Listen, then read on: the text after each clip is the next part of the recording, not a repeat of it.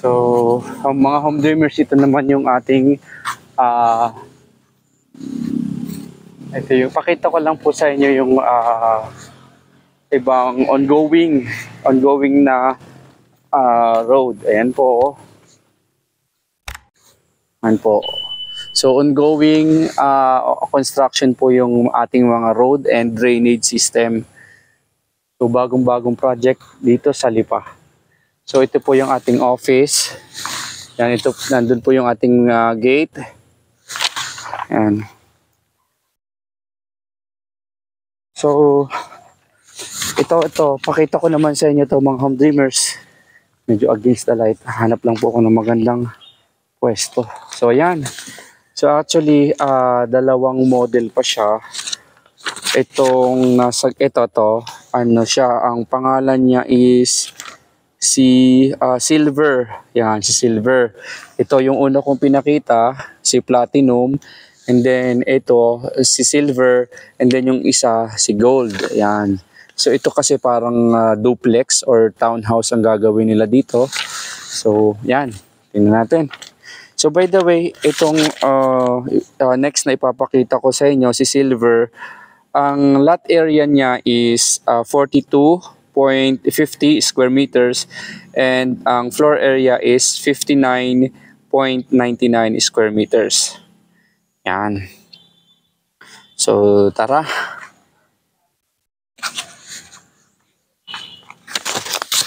Okay. So dito po muna. Ah, bali kasama na po sa turnover ang ah, gate. Kung mapapansin nyo may gate. Yan, may gate. Yan, may one car garage. Ito po, one car garage. So ito yung ating entrance. So makulay ang ating door. Kulay light, ano ba to Light blue. So ito. Yan. So ito po yung turnover talaga. Ah, cement finish. Yan. So pagpasok nyo yan, ito po may ah, lababo. So ito po. Yan. Tutin natin. So basic po ang turnover. So though uh, uh, cement finish siya pero ah, may paint na siya. And ang maganda high ceiling siya oh. Mapapansin yung mga home dreamers. High ceiling. And then dito, ito yung pinaka ah, service area niya. Yan. So pwede nyo siyang gawing laundry area or dirty kitchen. Yan. And then sa likod ng pinto, nandito yung ating toilet and bath. Yan. So, toilet and bath. Yan po.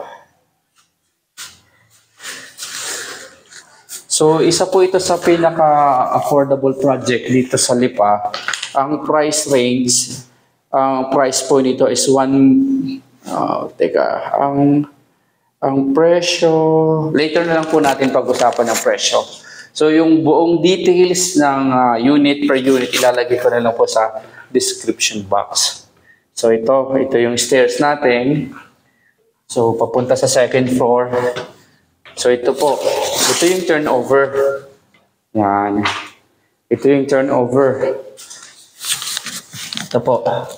So, ah pwede siya gawin two bedroom. Ito po, ito yung kinatatayo natin, yung itong first bedroom. And then ito yung second bedroom. So, malaki pa rin po siya. Yan. And ang maganda yun, no, may insulation. So, hindi ah, hindi masyadong mainit. Yan po, may, yan, kung mapapansin nyo, yung parang silver na yan, yan po yung ah, pang-kontra sa init. Yan po, ito po malaki. Yan, mga home dreamers.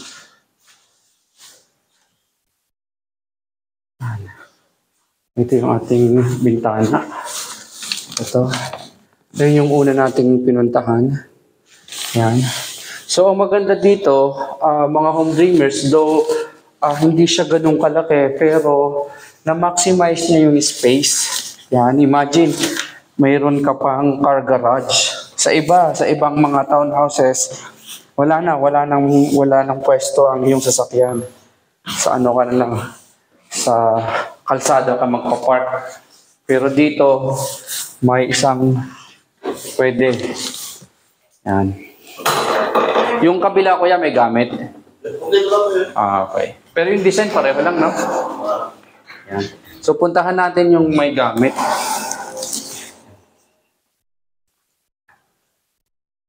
So, kumpleto. May, may garahe ka na.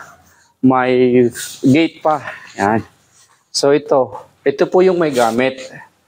Yan. Yan. So, yung una na, yung pangalawa natin pinasok, walang gamit. Yun yung tur- basic turnover. Yan. So, ito yung may gamit. Yan, oh. So, kung kanina, ah parang hindi mo ma-imagine kung paano mo mapapagkasya yung mga gamit mo. So, ito po, oh. Ito yung ah may gamit na. So, di ba ang laki? Ano? So, may nakapaglagay pa ng sofa, may TV, may table. Ayan.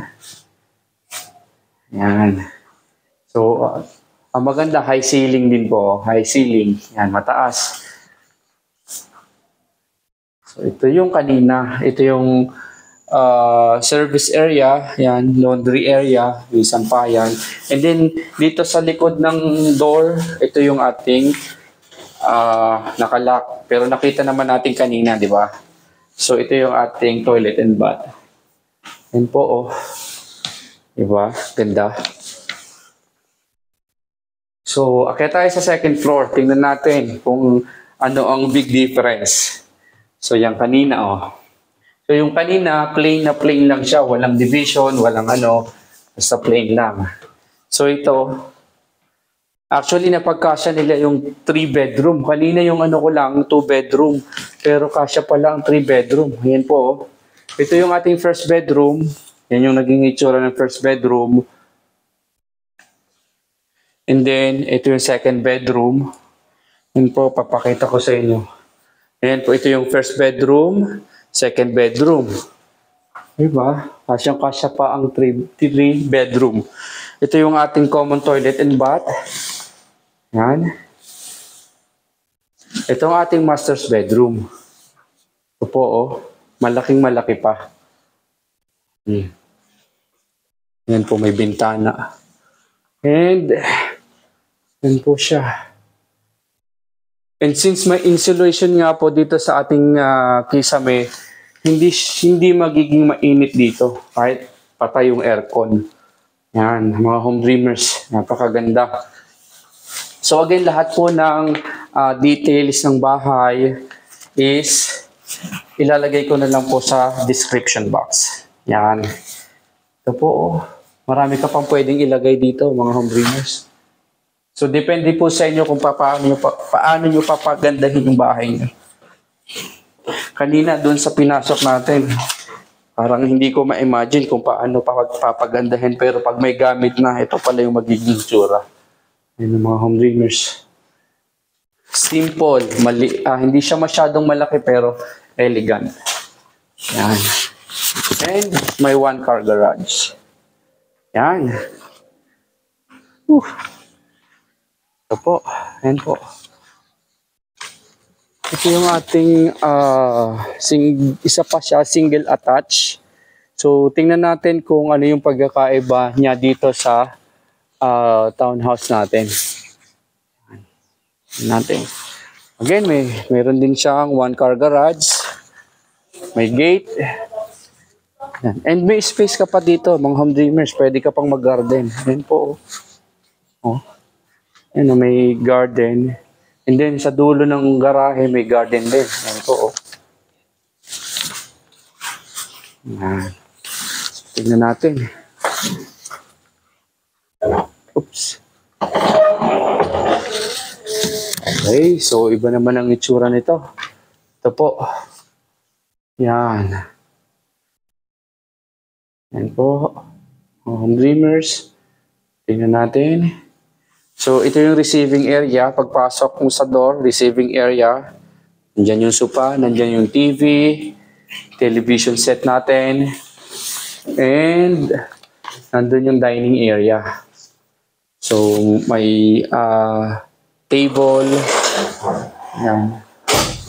So, kung hindi, ka, hindi naman po kayo ganun kalaki na family, perfect po ito para sa inyo. Ito po yung ating ah, lababo. Yan, depende na lang po kung paano nyo pagagandahin yung inyong bahay. Ito po yung ating uh, toilet and bath dito sa ground, ground floor. And then ito yung door papunta sa ating dito ah, sa may garden, sa may garahe. Actually, pwede mo siyang i-convert. Kung ayaw mong mag-garden dito sa may gilid, pwede mo siya i-convert into ah, extension pa ng kusina mo or dirty kitchen or laundry area. Pwede, pwede. Since malaki pa naman siya. Yan. Hmm. Ito po. Ito yung view, mga home dreamers. Yan po, oh. Hmm. Diba? Hindi siya ganun kalaki mga home dreamers, pero pag mailagay mo ng maayos yung mga gamit mo, magmumukha siyang malaki at maluwag. Yan, tara sa second floor. Ito po yung stairs. So by the way, itong ah, pinasok natin, ito po si Gold. Ang model name is Gold. Yan. So dito sa second floor, meron lang po tayong dalawang bedroom. So unahin natin si bedroom number one. Ito po si bedroom number one. Malaki din siya, mga home dreamers. So kung ang kung kayo po ay family of five, okay okay din po kasi pwede kayong ah, maglagay ng double deck. Yan. Yan, ito po yung toilet and bath. Dito sa second floor. Nakaganda mga home dreamers, bagong-bago. Yan. So kung interested ka, home dreamers, dito sa Arco Resident, Residences dito sa Lipa, feel free to contact me. Yan, ito po yung ating master's bedroom. So napakaganda mga home dreamers pag ah, naayusan yung ating bahay. No, depende na lang po sa inyo or pwede kayong mag-hire ng ng interior designer kung gusto nyo, kung gusto nyo mas mapaganda pa yung bahay nyo. So, tara sa baba. Whew.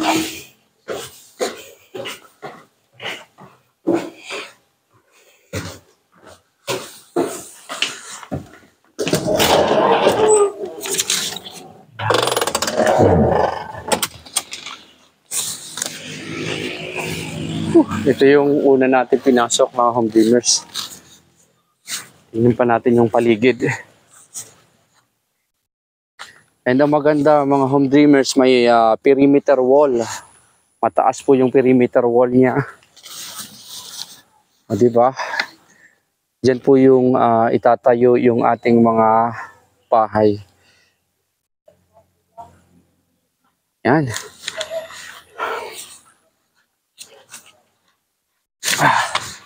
Ayan.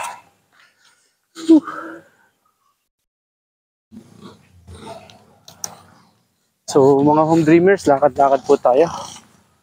Yan.